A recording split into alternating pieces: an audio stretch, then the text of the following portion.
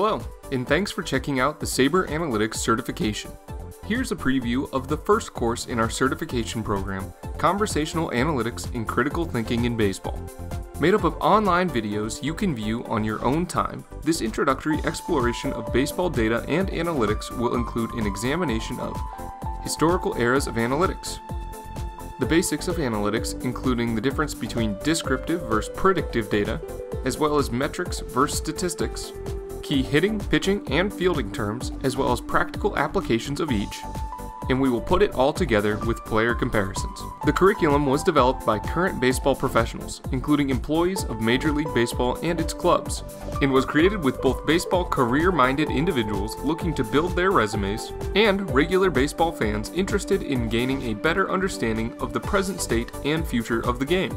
Using animations like this one and practical language to break down and introduce concepts, each chapter in the course builds towards your own opportunity to showcase what you've learned. A player comparison piece that you'll have reviewed by the staff writers at Baseball Prospectus. To learn more and get started, visit sabr.org slash analytics slash certification. So, what are you waiting for? Are you ready to become SABR certified?